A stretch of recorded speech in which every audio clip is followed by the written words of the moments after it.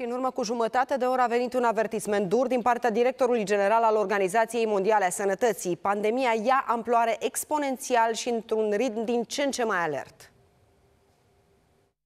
More than 300,000 cases of COVID-19 have now been reported to WHO from almost every country in the world.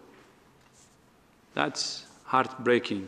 The pandemic is accelerating. It took 67 days from the first reported case to reach the first 100,000 cases. 11 days for the second 100,000 cases. And just four days for the third 100,000 cases.